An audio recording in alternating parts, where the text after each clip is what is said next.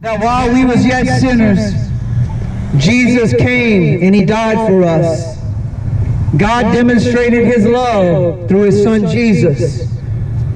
But you must be willing to come to the Lord Jesus to receive the love of God.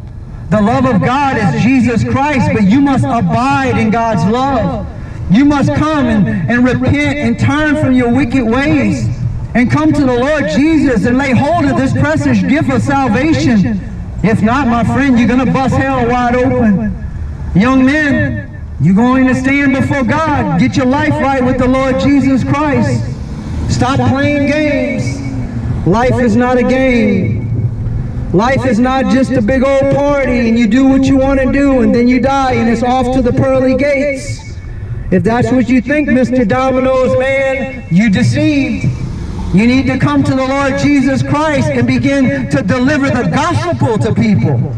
You can give your life to Jesus, and instead of delivering pizza, you can deliver the gospel. Hallelujah to the Lamb of God. But you must be willing to come to the Lord and receive God's salvation. Come and taste that the Lord is good, Mr. Domino Man. You're going to want more and more of Jesus. He will bring you alive on the inside. But you must be willing to repent. If not, Jesus said, so likewise, if you do not repent, you're going to perish. You see that oven that you cook that pizza in? You're going to be cast into the furnace of fire. You're going to be cast in the heat of affliction. You're going to be cast in a place of torment if you reject the saving grace of Jesus Christ. And my friend, while it is still today, I am pleading with you to think about your soul. Stop just living for the here and now. Stop just living for today because you're not promised tomorrow. You may die tomorrow. Is your heart right with the Lord? Today is the day of salvation. Today is the day to get your life right with the Lord Jesus Christ. Because you're not promised tomorrow. Your life is nothing but a vapor. Once you get a hold of it, it's gone. Once you get a hold of life, before you know it, it slips away. You get sick, tragedy happens, and then you leave this planet and you go somewhere, my friend. Yes, you in that white car, when you die, you're going somewhere. And you can go to be with God, but you must be willing to come and lay hold of the salvation of the Lord that comes through Jesus. For God is extending an invitation to his kingdom, but you must be willing to come. For God takes no delight in the destruction of the wicked, but that the wicked should turn and that they should live.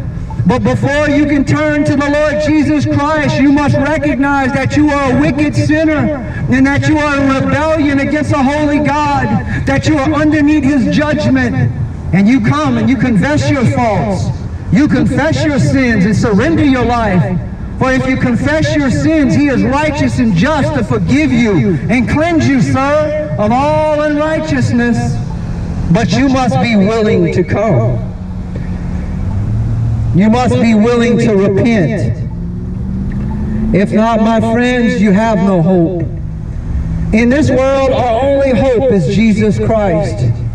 In this world, our only hope is the salvation of the Lord. Your money cannot save you, sir, in the day of judgment. You won't be able to buy your way out of that court date. You're going to stand before God and he's going to call your life into account. Get your life right with the Lord, sir. Stop playing games. God's not playing games today, my friends. Fear God and keep his commandments.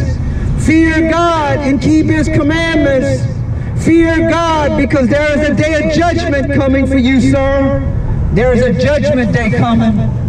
And God is trying to wake people up. Today's the day to think about your soul, sir. This is a divine appointment. God is trying to speak some wisdom to you. Get right with the Lord before it's too late because death is coming for you. It's appointed once for man to die, and then after that, the judgment.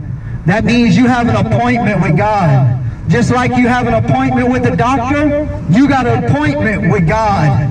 And my friend, you can't skip out on that appointment. This is something that's a sure thing because it's appointed once for man to die And then after that, the judgment.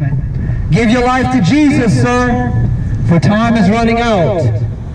For the clock is ticking down, and death is coming for you.